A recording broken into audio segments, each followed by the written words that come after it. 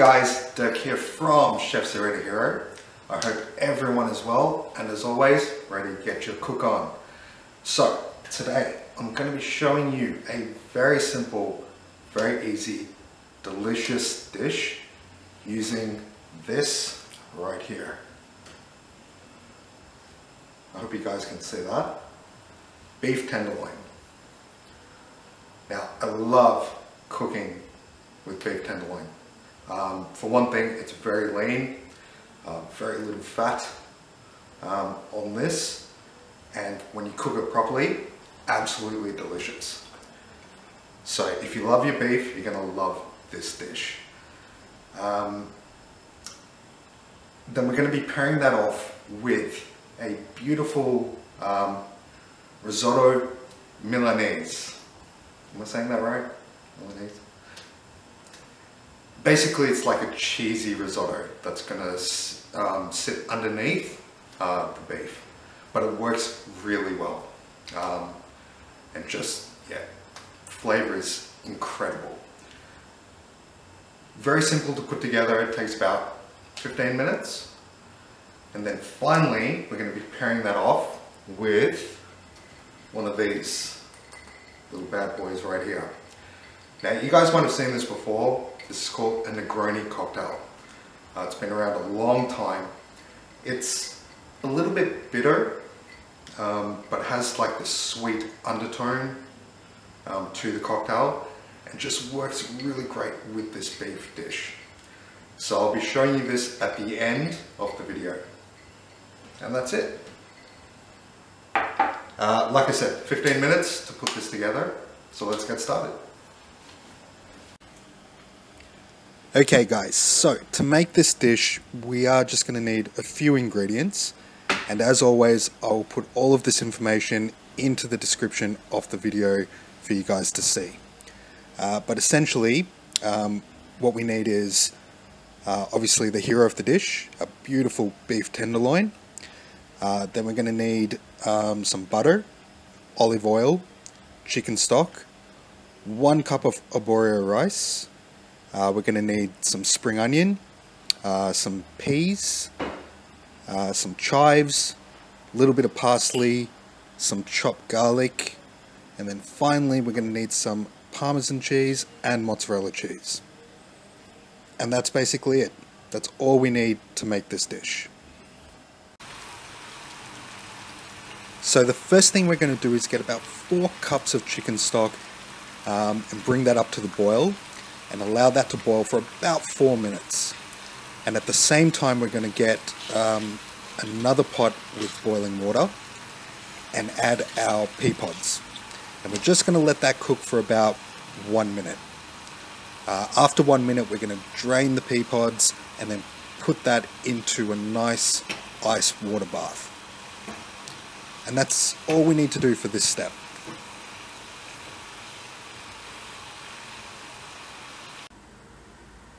So guys, all I've done here is reduce the chicken stock to a simmering heat. Uh, I've drained the pea pods and uh, just put them into uh, the ice water bath.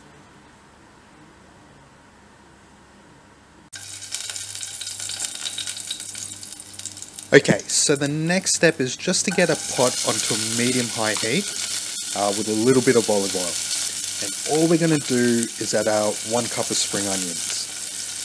Now, guys, I'm also going to add one cup of porcini mushrooms. Now, this is not essential to the dish. You don't need to have this. I'm just doing it because, well, I really love mushrooms and I think it goes great with, uh, with the risotto. But uh, again, just a personal preference. You guys don't need to do this. Um, but it really does add great flavor to the risotto. So all we're going to do is uh, saute this um, for about a minute and a half. Um, just going to add a nice amount of butter as well. And the main thing is we do not want uh, the butter or the spring onions or the mushrooms to, to burn. We're just sauteing this. So no more than two minutes. That's all, um, that's all this will need. So after two minutes, this is nicely coming together.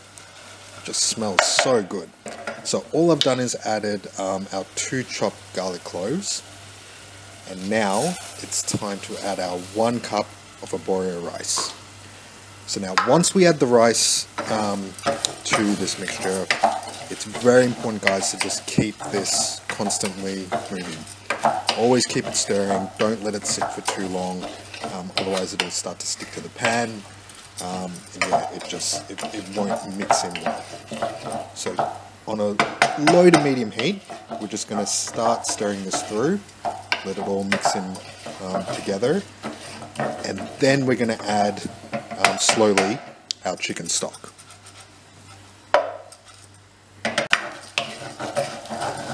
So I've been stirring the risotto for just a little over a minute and now it's time to slowly start adding our chicken stock.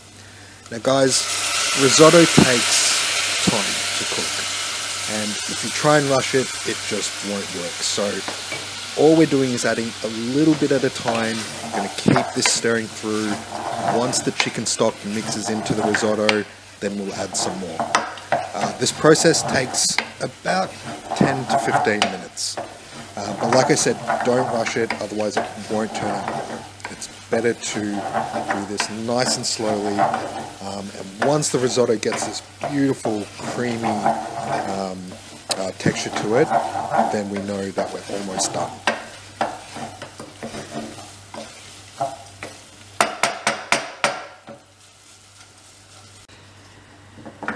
So it's been just a little over 10 minutes, and as you can see, the risotto has this beautiful, thick, creamy texture, which is exactly what we were looking for.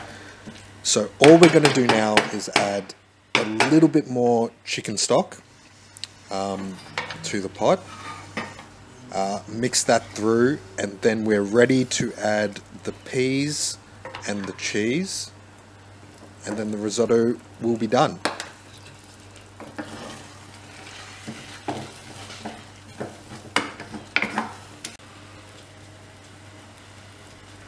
So the final step is just to add the uh, mozzarella and parmesan cheese to the risotto and let this melt through. This takes about 30 seconds in total. Uh, once the cheese is melted through, then we're just going to add the peas, uh, cook that for about another minute, and then we're going to set this aside and get started on the beef tenderloin.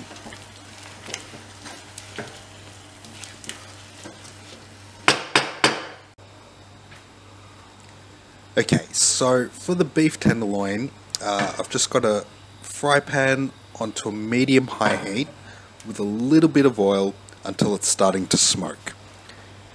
Now, for me, I like my steaks uh, medium rare.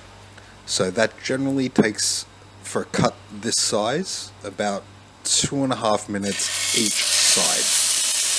Uh, now, if you want medium that will probably be about three minutes each side, and medium to well will be three and a half to four minutes. Uh, but two and a half minutes is just perfect.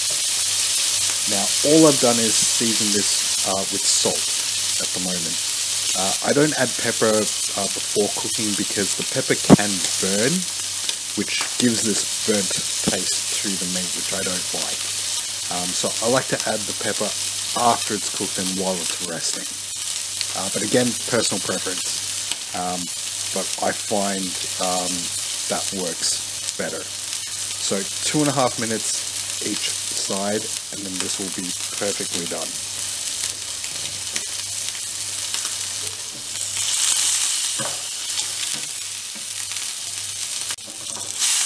So it's just been two and a half minutes, guys, and all we're going to do is just flip this over. Look at that. Beautiful. And cook this for another two and a half minutes.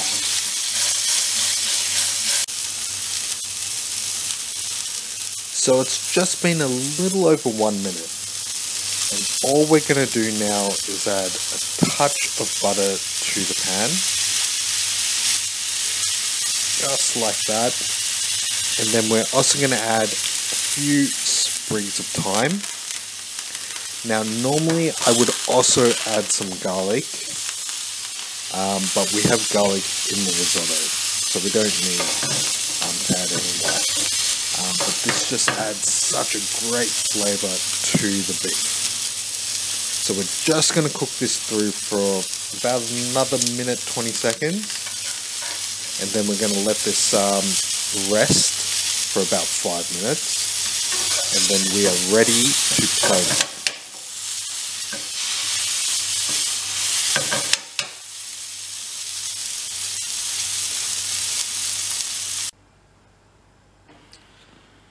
So guys, when it comes to plating up, what I like to do is just have that incredible risotto as the base. And then we're going to place that amazing, uh, perfectly cooked beef tenderloin uh, on top of the risotto. And then finally, we're just going to top that off with a little bit of butter. And then garnish that off um, with a touch of parsley. And that's it. That's all we need to do for the dish. Looks amazing, tastes incredible, and guaranteed to impress. So guys, the last thing I'm going to show you is how to make the Negroni cocktail. So we're just going to start off with 30 mils of um, high quality gin into a cocktail shaker then we're going to do 30 mils of vermouth, uh, sweet vermouth as well. Just like that. And then finally we're going to top that off with 30 mils of uh, Campari.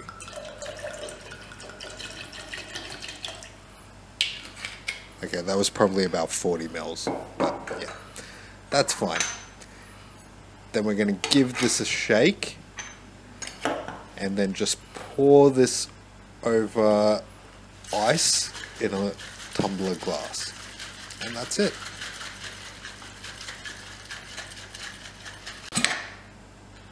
So we've given this a good shake and we're just going to pour this over the ice.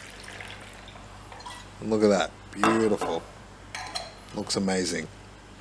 And that's it guys, we're done. So guys, that was the entire dish.